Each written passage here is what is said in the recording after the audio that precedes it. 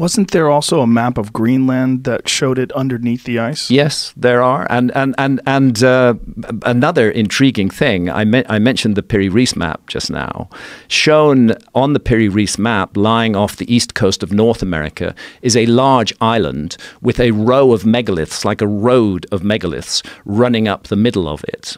Um, that island is in the exact place of the Grand Bahama Banks, uh, and and. Uh, Is it on this this it? one? yeah, it is. Um, but can I point it out to you because Sure, the map yeah. Sure. rotated?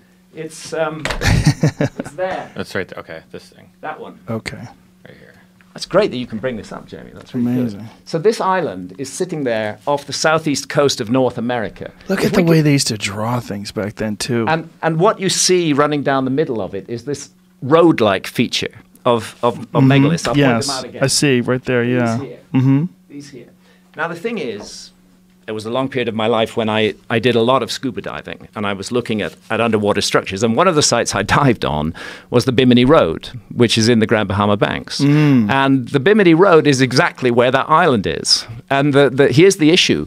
I don't care whether the Bimini Road is natural or man made. For me, the mystery is that it is shown above water on that map. And the last mm. time it was above water was thousands and thousands of years ago. So for me, this is all evidence that we shouldn't dismiss the possibility that our ancestors had achieved a level of technology where they could explore and map the world's oceans. We shouldn't dismiss that. There it is right there. So we don't Road. know what those stones are or how they were created, but boy, do they look artificial. That's Yonaguni in Japan that's we're looking at now. But the, Go the back to that image, Jimmy, the, the last image that we were just looking at. Look at that. I mean, Yeah. that looks so And- man made. And, and you can see that it's rather like the, the, the pattern that's shown on the on the island in the in the map. How The- deep is that today? Oh, it's not very deep. It's about twenty feet. There's, And, but we think that that was above water at oh, some point. it was it was definitely above water during the last ice age. Uh, when it when it finally went underwater, may have been as late as eight or nine thousand years ago. Is there anything else compelling that's in the immediate area that seems to indicate that there was some sort of a man-made structure? Well, nobody's looked for it, Ah.